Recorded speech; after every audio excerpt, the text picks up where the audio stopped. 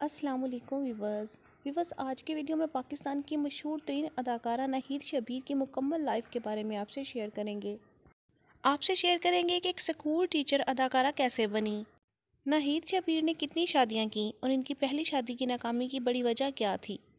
ऐसी कौन सी वजूहत थी जिसकी बिना पर नाहिद शबीर ने शोबिस इंडस्ट्री की चमकती हुई दुनिया छोड़कर गुमनामी की ज़िंदगी बसर करने पर मजबूर कर दिया?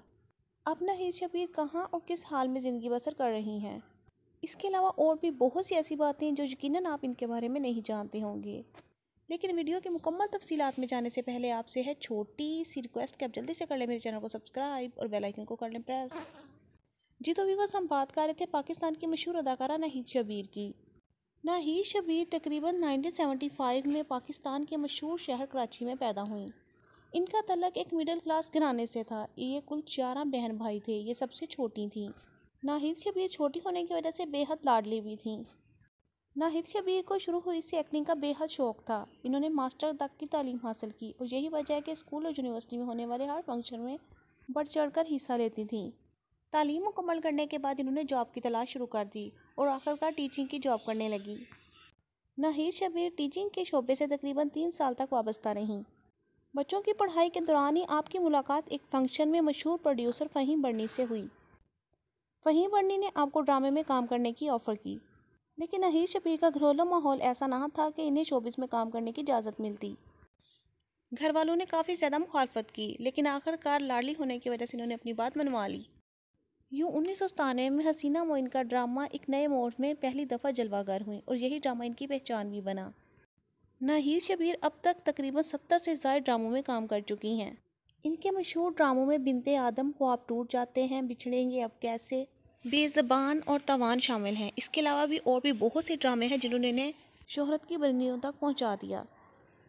नाहिद शबीर का शुमार उन अदाकारों में होता है जिन्होंने रूज का वो दौर भी चखा जब एक ही साल में उनके साथ साथ ड्रामे रिलीज़ हुए।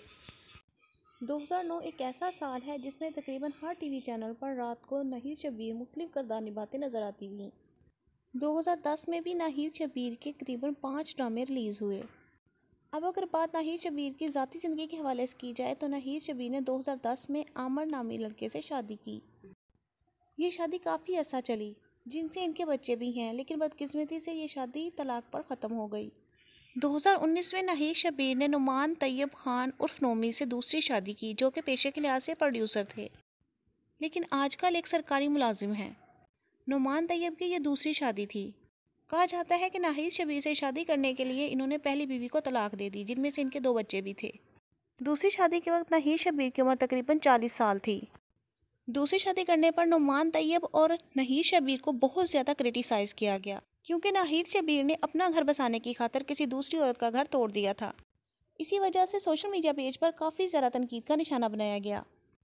अब पिछले तीन चार साल से नाहिद शबीर शोबिस इंडस्ट्री को खैरबाद कह चुकी हैं। अब वो ऑन स्क्रीन कहीं भी नज़र नहीं आती। कहा यही जाता है कि नाहिद शबीर आजकल अपनी घरेलू ज़िंदगी में मसरूफ़ हैं।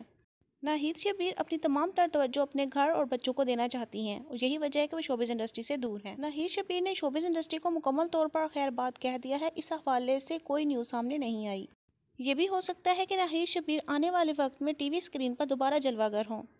इस हवाले से अभी कुछ नहीं कहा जा सकता। जी तो विवज आपको अदाकारा नाहिद शबीर के बारे में जानकर कैसा लगा? अपनी राय का इजहार कमेंट्स में ज़रूर कीजिएगा। वीडियो अच्छी लगे तो वीडियो को लाइक और मेरे चैनल को सब्सक्राइब करना ना भूलिएगा। एक नई वीडियो के साथ फिर हाज़िर होंगी तब तक के लिए अल्लाह हाफिज़।